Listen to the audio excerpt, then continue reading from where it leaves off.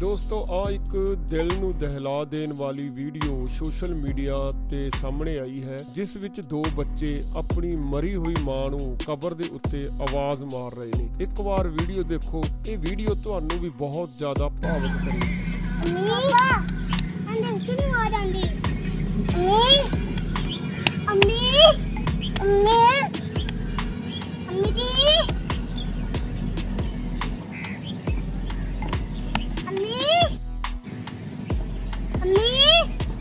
ਦੋਸਤੋ, ਇਹ ਵੀਡੀਓ ਦੇਖ ਕੇ ਮੇਰਾ ਤਾਂ ਬਹੁਤ ਜ਼ਿਆਦਾ ਮਨ ਭਾਵਕ ਹੋ ਗਿਆ ਸੀ। ਮਾਂ ਪ੍ਰਤੀ ਬੱਚਿਆਂ ਦਾ ਪਿਆਰ ਵੇਖ ਕੇ ਤੁਹਾਨੂੰ ਕੀ ਫੀਲ ਹੋਇਆ? ਆਪਣੇ ਵਿਚਾਰ ਕਮੈਂਟ ਦੇ ਰਾਹੀਂ ਜਰੂਰ ਦੱਸੋ ਜੀ ਤੇ ਨਾਲ ਵਾਹਿਗੁਰੂ ਜਰੂਰ ਲਿਖੋ ਜੀ।